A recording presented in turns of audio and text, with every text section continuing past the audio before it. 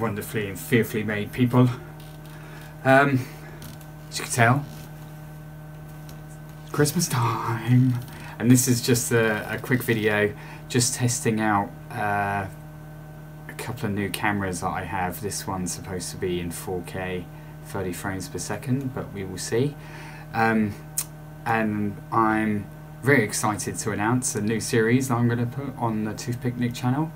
And I am going to entitle them Learning with Nik. And uh, it's going to, well, my goal is to show the masses, even an uneducated person, when given time and applying common sense, can achieve anything he puts his mind to. Um, so, no research, Google, internet doesn't exist. We do it the old school way, trial and error. So, uh, I know I'm going to have fun. I hope you guys enjoy. As always, I feel really privileged and I'm blessed that you have taken your precious time out of your day just to watch this guy.